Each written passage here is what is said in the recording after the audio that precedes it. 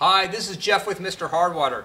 Today we're going to use our pool tile blast cleaning kit not to do a jacuzzi or pool tile or fountain, but to actually do a bathroom and shower that has been neglected for a long period of time. The reason we're going to use our pool tile blast cleaning kit is because there's so much rust, there's so much soap, scum buildup, and there's so much uh, just stains on the porcelain tub as well as on the tile and in the grout that it's almost going to be impossible to really scrub all this out by hand. So instead of doing it by hand, we're just going to use our pool tile blast cleaning kit.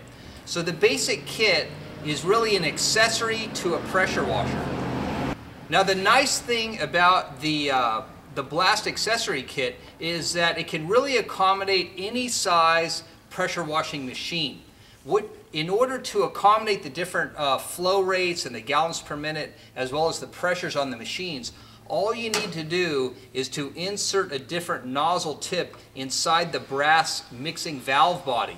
What that does is that adjusts the velocity and the flow through the valve body and that allows you to adjust the suction that you're going to need in order to suck the, uh, the blast media through the hose and out through the tip. Now it's really the combination of the water, plus the, uh, the media that's going to do the cleaning for us today. So today I've chosen the pool tile blast media because it really is the best media for this type of uh, a shower uh, tiles. It's really the same type of glazed tiles. So it's going to work really well. Also, this media is pH neutral and it's water soluble, so it's going to be very easy to work with. It's non-toxic, it's eco-friendly, so it's easy and safe to work with. Also on the, uh, the porcelain tub, which you're going to see, is really damaged and this media is really going to be able to clean it up safely. It's not going to pit the surface or damage it in any way and instead the crystals are really just going to clean that surface. So with our pressure washer and our blast accessory kit and our media, let's go ahead and do this shower.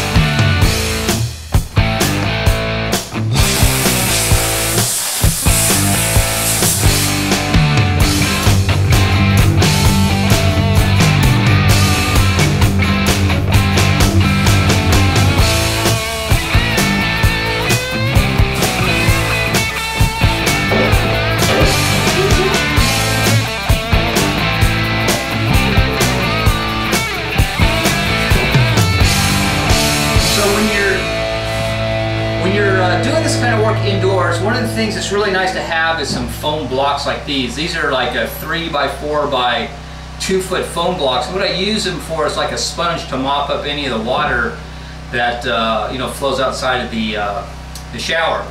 You can see already by just having a couple trigger sprays that I've completely cleaned the tile. It looks great. So now for the purpose of the videos, it's a little uh, messy because the water's coming back out. But if I was going to do this without filming, I'd probably put up some kind of a plastic here or even get inside the shower, shut the doors and just start blasting away. So what I'm going to do right now is I'm going to put the foam blocks down on the bottom here. It's going to soak up the water and I'll give you a little bit more example of how powerful and how nice this system is and how quick it is. And then, um, and then I'll shut the shower doors and just finish it off.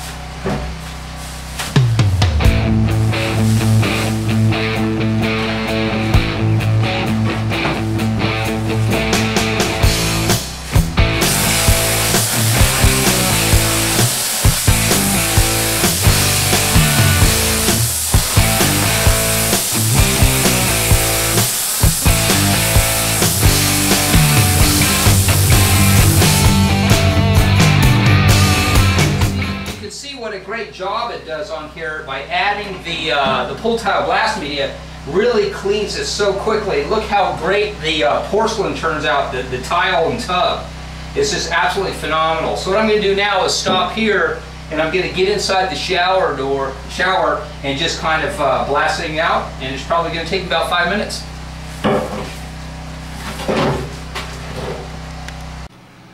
Okay, so I'm right in the middle of this job now. Blast media does accumulate, and it doesn't hurt the pipes. It's all biodegradable, it's all natural, and it's water soluble. However, just to speed up the job, what I'm going to do is I'm going to take a dustpan and just take out some of the extra media here and then put it into a bucket so that um, I don't have as much going down the drain so I can just um, rinse everything down when I'm through. So um, once I remove all this, I'm just going to keep spraying away. I got another few minutes and we'll be finished.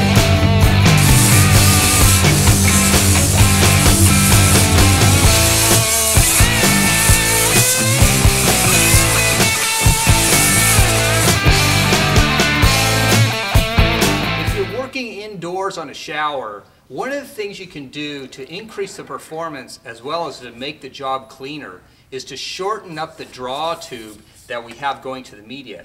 Like each system is going to ship with 20 feet of hose. However, a lot of times I'll cut the hose in half and only use about 10 feet or less because I need the media to be close to me while we're blasting. The other thing you need to be aware of also is like when you're working inside the home, you really don't want to use this black type of, uh, of inlet hose because it can actually leave the scuff marks, the black scuff marks on the cement. So instead it's better to use the blue hose. But in this case I'm going to leave the pressure washer outside here, run the hose to the garage, and I've only got it a few feet before I can get in the shower. And so it's going to be easy for me to manage the, uh, the black hose.